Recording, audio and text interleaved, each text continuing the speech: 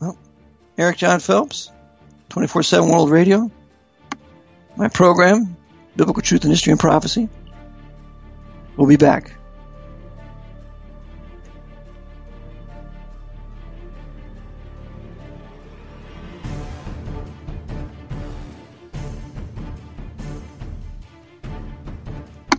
You're listening to 24 7 World Radio.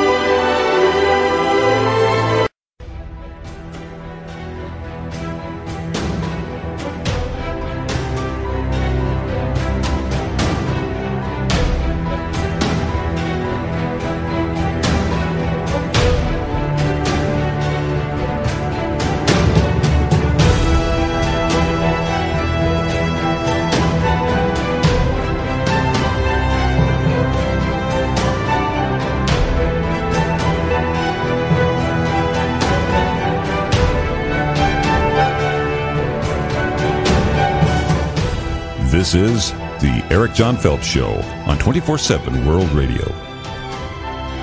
And now, Eric John Phelps.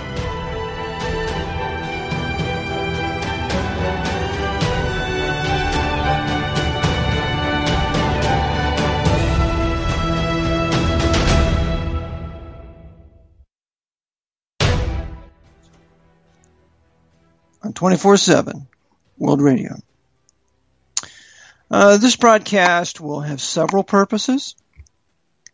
And uh, the purpose is, of course, to first preach the true gospel of the Lord Jesus Christ, and to secondly expose the power of the Jesuit order, which is making mincemeat of this country. And so, before the Lord, it is my desire this moment to launch a full scale exposing an InfoWar attack. Alex, right, Alex Jones has it right with that particular phrase. Against the Great Secret Society,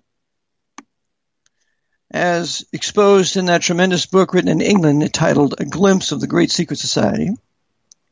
And that secret society is the Society of Jesus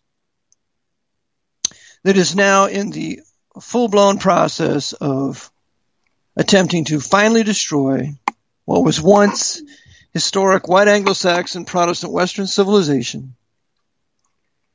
and to return the world to the Pope's dark ages when there was no Reformation, when there was no Western civilization, when there was no middle class, when there was no freedom of speech, when there was no private wealth, when the priests and the nobles ran everything, and the people were dirt and scum to be fleeced and eaten at the will of the papacy and its white power structure, the nobles of Europe.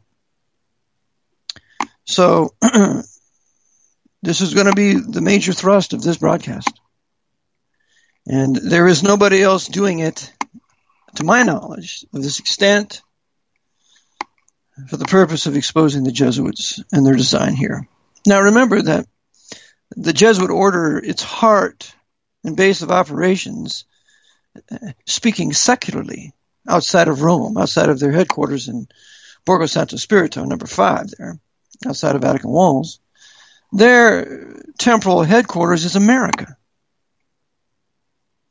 The Jesuits rule the world through their control of Washington and New York City, and indeed also London, but primarily through Washington and New York City because this is the empire that they created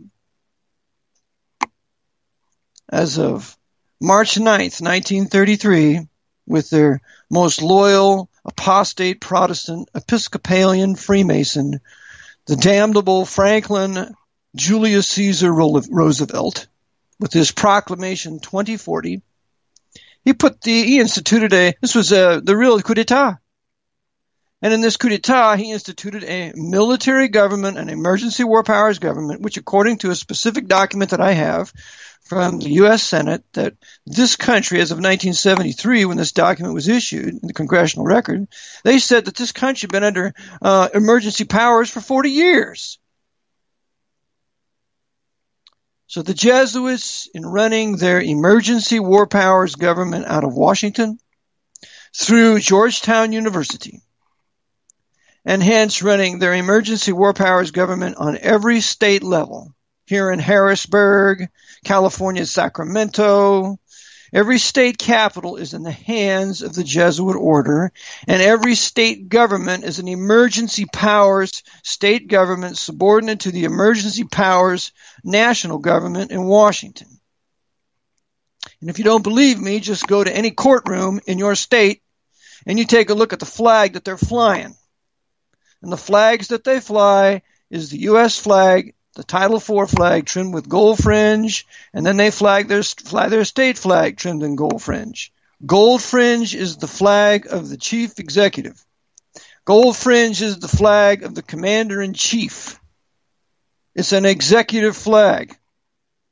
So what we have is these courts now, even though they are constitutional courts that have sprung from the written constitution of the of Article 3, say of the U.S. Constitution and the state constitutions, they are in substance martial proceedings on behalf of the chief executive.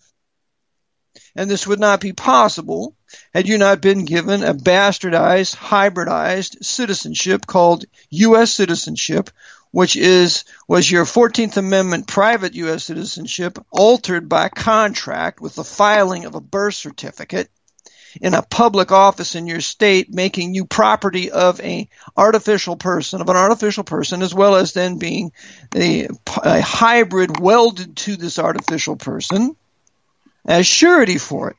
You're not an accommodating party, you're surety for it. You're linked to it. And this is the bastard hybrid status that they've put upon us that enables the bastard hybrid de facto military government and courts to proceed against you in every civil and criminal proceeding. Why? Because we're under emergency war powers. So I intend to fully expose this emergency war powers government run by the Vatican. Because you see, this is how they're going to impose temporal power of the Pope here. The courts are already set up. They're already in place. All that needs to happen is a concordat, a treaty between the president, the commander in chief, which is what he really is, and the Pope of Rome through his papal nuncio in Washington, which is his ambassador to the United States. Once that happens, you now will have a unity between the Vatican and the U.S. that will impose canon law here exactly as was done in Hitler's Germany when he had a concordat with the Pope, signed by Franz von Papen, who was an Knight of Malta, Hitler's vice chancellor, and 1933. And that concordat, by the way, is still in effect for all you Germans. Remember, the Jesuits hate you Germans. They can't stand you because you brought the Reformation to the world. Especially they hate East Germany. That's why they put it under communism for 45 years and beat those Lutheran Protestants into the dust. So they want to end white Protestant and Baptist Western civilization by any means necessary. And it appears to me that we are now in the final death throes, the final design of the Jesuit order to bring this to pass. And so this will be one of the major purposes for this broadcast to have you instructed in these matters to teach you from the books that I know, to get the the uh, evidence from individuals who fully are fully aware of this, so that you'll be fully uh, informed as to what's happening and will not be deceived either by the Pope's general media, controlled by the Council on Foreign Relations, controlled by uh, various other secret societies. Of course, high, high level Scottish Rite Freemasonry is one of them. The Knights of Columbus are another. The Knights of Malta are another. The Knights of the Equestrian Order are another. I mean, it's through these papal knighthoods and Masonic secret societies that the Jesuits fully control and thereby fully control this for Holy Roman, which I call for Holy Roman 14th Amendment, corporate fascist, socialist, communist anti white, pro black American empire. So we want to be understanding with that matter. Now, the purpose of this broadcast is I wish to teach you about the international intelligence community. You must realize that all the intelligence agencies work together.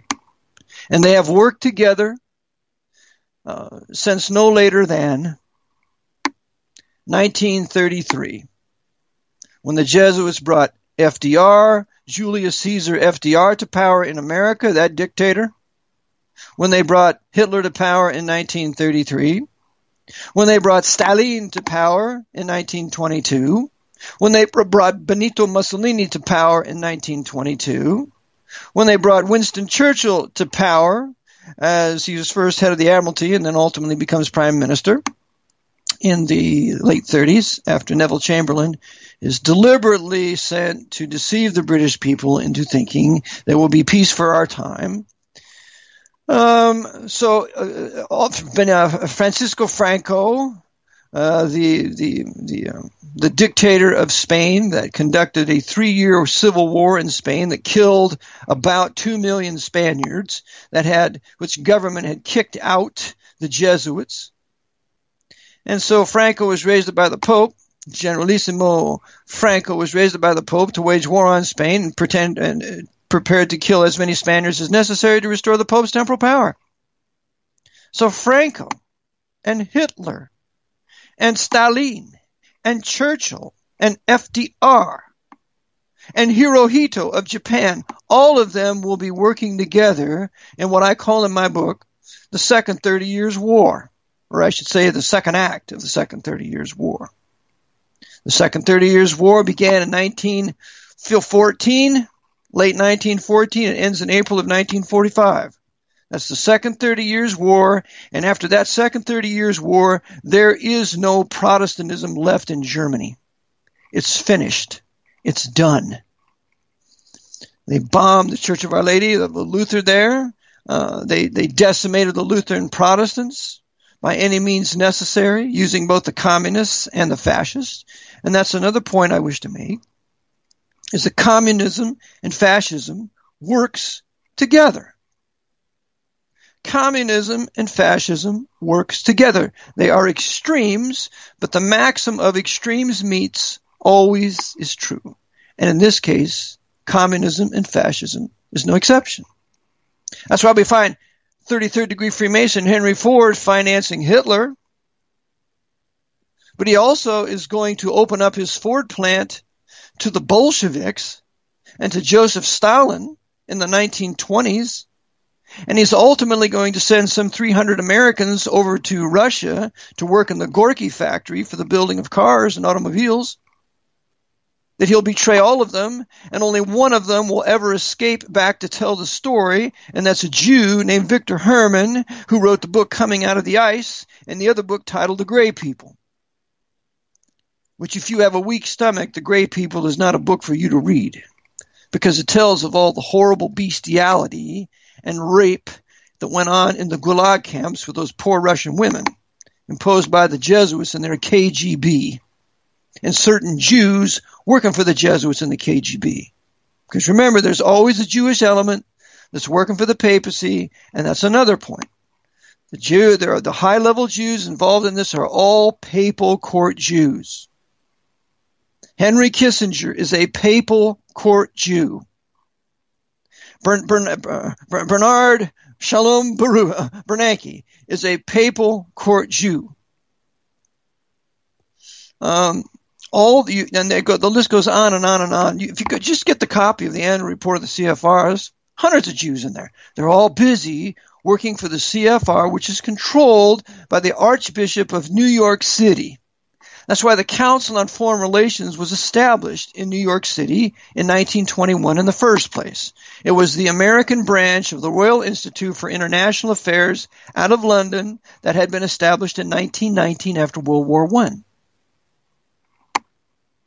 So we need to have an understanding of the Pope's international intelligence community.